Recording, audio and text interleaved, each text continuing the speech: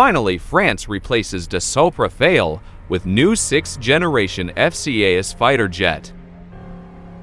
France has tested a prototype engine for the new generation fighter, NGF, that it is developing alongside Germany and Spain as part of the larger future. Combat Air System, FCAS slash Système de Combat Aérien Futur, SCAF. On 10 January, the French Defense Procurement Agency reported that a prototype engine under the Turenne program had successfully passed a ground test utilizing a power plant adapted from the Snecma M88, which is now installed to the Dassault Rafale combat aircraft. At the end of 2021, the Directorate General of Armaments, DGA, completed a major test for the development of the next engine of the NGF combat aircraft of the FCAS-SCAF. As part of the Turenne Defense Technology Project led by the DGA, a prototype derived from the engine of the Rafale fighter jet was tested on the test bench, the DGA said.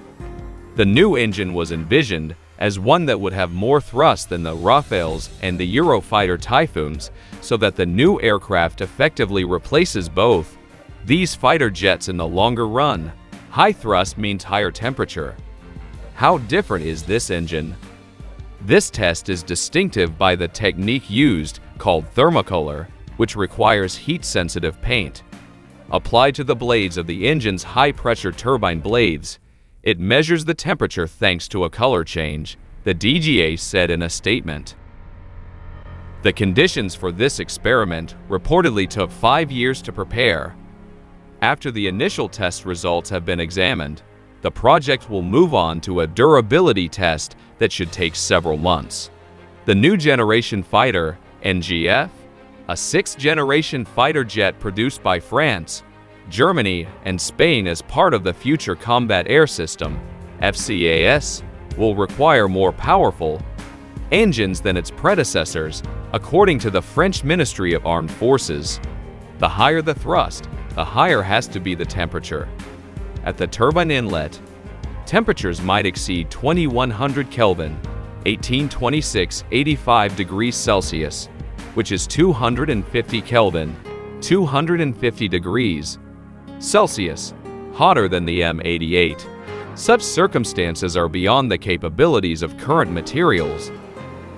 The French ministry had earlier stated at the outset of the engine program, the Future Combat Air System program, the Future Combat Air System, FCAS slash Système de Combat Aérien Futur, SCAF, is a sixth-generation stealth fighter aircraft that was first shown at the Paris Air Show in 2019.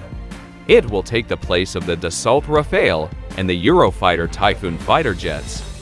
It's a network-enabled system of systems that includes a new generation fighter plane, a MALE, medium-altitude long-endurance, drone, cruise missiles, drone swarms, and other aircraft, according to Airbus.